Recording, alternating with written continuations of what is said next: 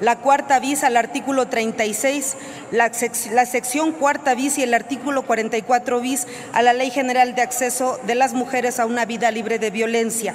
En esencia, este proyecto propone incluir a la Secretaría de la Función Pública como integrante del Sistema Nacional para prevenir, atender, sancionar y erradicar la violencia contra las mujeres. Asimismo, se establecen facultades y funciones a las que estará sujeta esta Secretaría para fortalecer el combate a la corrupción e impulsar estrategias para prevenir la violencia en contra de las mujeres dentro de la Administración Pública Federal.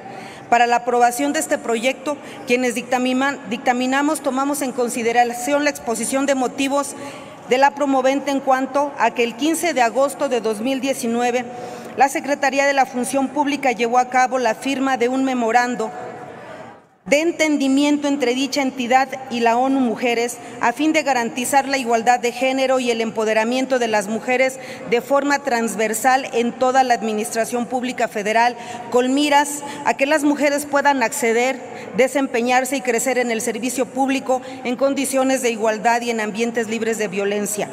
La firma de este memorando se enfocó en cinco grandes temas. Uno, fortalecer el combate a la corrupción e impulsar la cultura de transparencia y rendición de cuentas con perspectiva de género. Dos, desarrollar estrategias para prevenir el hostigamiento y el acoso sexual en la Administración Pública Federal. Tres, monitorear los avances y valorar los impactos de la implementación de los mecanismos para la prevención, atención y sanción de hostigamiento y acoso sexual. Cuatro, fortalecer la profesionalización del servicio público con un énfasis en medidas especiales de carácter temporal para incrementar el número de mujeres en puestos de decisión. Y cinco, promover la corresponsabilidad en el trabajo de cuidados y la conciliación de la vida laboral y familiar.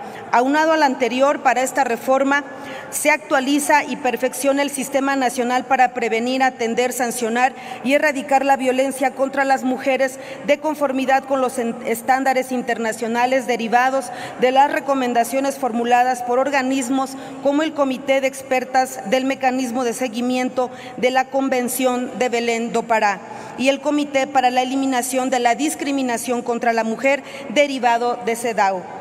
Por lo anterior y toda vez que se trata de un proyecto que se suma a la línea del trabajo de esta soberanía para la depuración y armonización convencional del entramado institucional y legislativo nacional en materia de derechos de las mujeres, se somete a consideración de este Pleno en sentido positivo. Muchas gracias. Es cuanto, Presidenta.